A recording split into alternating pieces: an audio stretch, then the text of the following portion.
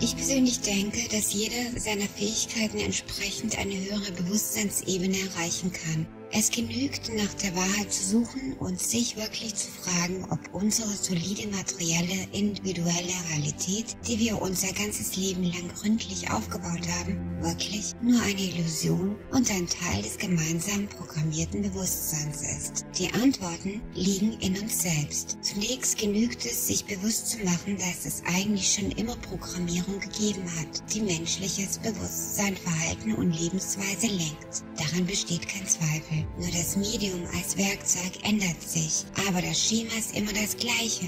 Schaff eine Krise, Konflikte, Kriege, Krankheiten, Inflation, Hungersnöte, Katastrophen und biete eine vorbereitete Lösung an. Eine Lösung, die zu denen passt, die das Spiel ausführen. Sobald diese Tatsache wirklich aufgedeckt und in ihren wahren Form im Bewusstsein gezeigt wird, gibt es kein Zurück mehr. Es gibt kein Zurück zu den alten Wegen.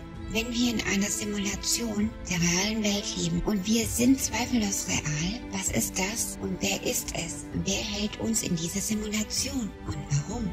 Warum ist die wahre Geschichte unserer Zivilisation verborgen? Warum ist die echte Wissenschaft verborgen? Die Wahrheit über das Universum, über uns selbst. Und wenn gewisse Elemente des eigenen Nutzens bereits deutlich werden, wer steht dann auf einer Ebene über ihn und über den anderen? Es scheint, dass wir Menschen nur Schachfiguren in einem großartigen Schachspiel sind, das auf vielen Ebenen gespielt wird. Bestenfalls können wir das Spiel bis zum dritten, bis zum vierten Level meistern und wir werden nie erfahren, wer auf dem siebten oder sechzehnten Level ist.